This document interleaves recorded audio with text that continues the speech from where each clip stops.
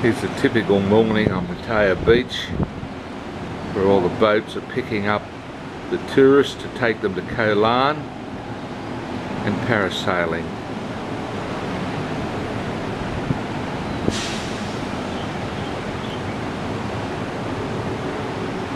They're going to be cluttering up the uh, bay for the next six months or so while they're building a, um, a new facility at Bali Hai.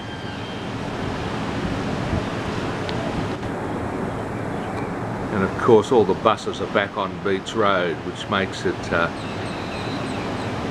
uh, makes it like a roadblock when you're trying to walk down the beach of a morning.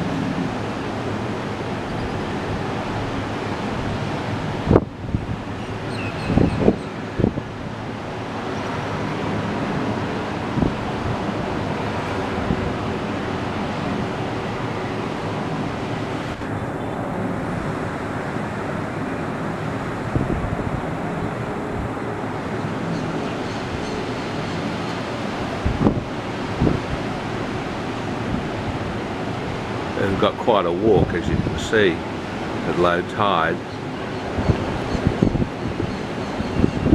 And of course the boats get stuck on the sand and from about six in the morning they're revving their engines. It's like a wake-up call for us.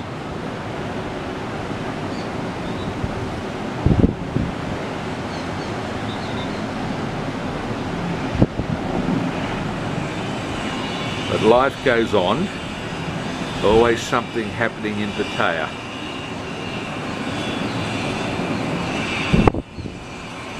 You'll see much more on my travel blog at 5starvagabond.com.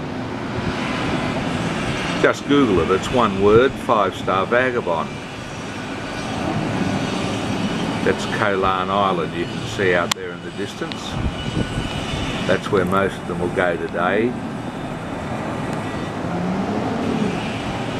One of the barges they launch from here. They launch the parasailing from about five different barges.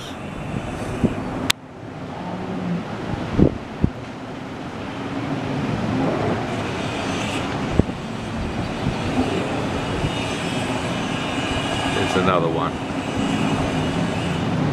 Busy, busy, busy.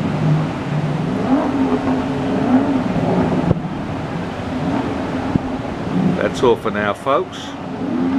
Bye bye.